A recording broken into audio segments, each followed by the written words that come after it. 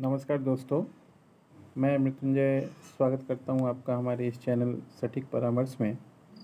और इससे पहले भी हमने एक वीडियो बनाया था जो आईआरसीटीसी को लेके था कि किस तरीके से आप आईआरसीटीसी में काम कर सकते हैं। तो उसमें लोगों को थोड़ा सा कन्फ्यूज़न था और एक सज्जन है, उन्होंने कमेंट किया था कि क्या प्रोप्राइटरशिप कंपनी बना के वो आईआरसीटीसी में जो खाना का या कैटरिंग का जो सिस्टम होता है, उसमें क्या वो पार्टिसिपेट कर सकते हैं या नहीं कर सकते हैं?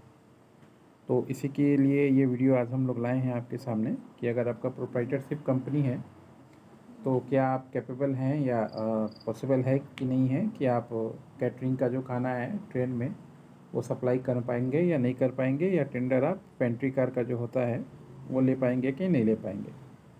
तो देखिए पेंट्री कार का जब टेंडर निकलता है तो उसमें ऐसा कोई क्राइटेरिया नहीं होता है कि आपका कंपनी किस टाइप का होना चाहिए। आ, फिर भी ज़्यादातर अगर प्राइवेट लिमिटेड या लिमिटेड कंपनी है तो उसको ज़्यादा तवज्जो दिया जाता है क्योंकि उसमें मान लीजिए उसका सिस्टम जो है थोड़ा यूनिफॉर्म होता है और गवर्नमेंट के पास उसका रजिस्ट्रेशन सारा रिकॉर्ड पहले से मिलता है।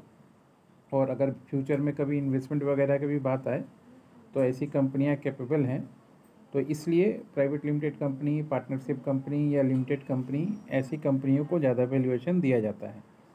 मगर ये इसका वहाँ पे कोई ऐसा मना भी नहीं है या लिखा हुआ नहीं है कि प्रोप्राइटरशिप कंपनी है तो वो एप्लीकेशन नहीं कर पाएगा।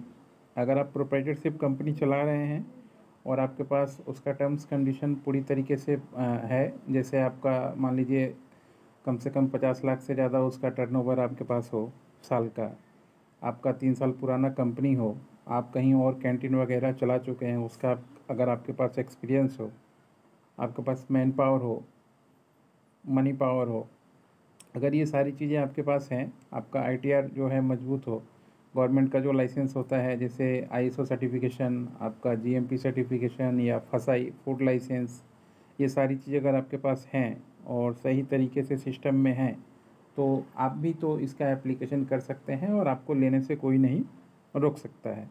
तो अब ये आपके ऊपर है कि आप किस तरह की कंपनी बनाइएगा और अगर आप हमारा सजेशन माने तो सबसे बेस्ट होगा कि आप लोग प्राइवेट लिमिटेड बना के ही काम कीजिए, क्योंकि इसमें स्कोप ज़्यादा रहता है और पूरे इंडिया में कहीं भी मान लीजिए आप ऐसा कोई भी काम निकलता है तो आप उसको भर सकते हैं और उसका टेंडर में पार्टिसिपेट कर सकते हैं। रहा इसका टेंडर की बात कि इसका कब निकलता है, नहीं निकलता है तो देखिए ऐसा कोई टाइमिंग नहीं है। आप रेलवे की या आईआरसीटीसी का जो वेबसाइट है, उसको फॉलो करते रहिए और न्यूज़पेपर को फॉलो करते रहिए। तो ऐसा जो भी टेंडर वगैरह निकलता है, नोटिफिकेशन निकलता है, वो न्यूज़पेपर और इनके वेबसाइट पे निकलता है। आप वहाँ से फॉर्म डाउनलोड करके अगर आपके पास डी है, डिजिटल सिग्नेचर तो आप ऑनलाइन भी इनका टेंडर फिलअप कर सकते हैं।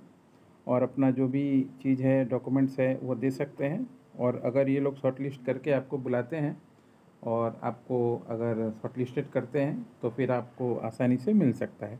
मगर आपको डॉक्यूमेंट्स और पेपर वर्क अपना पक्का रखना है, ताकि आप आसानी से काम ले पाएँ। आशा करता हूँ दोस्तों शॉर्ट वीडियोस था, चीज़ें समझ में आ गई होंगी आपको। आज के लिए इतना ही। धन्यवाद।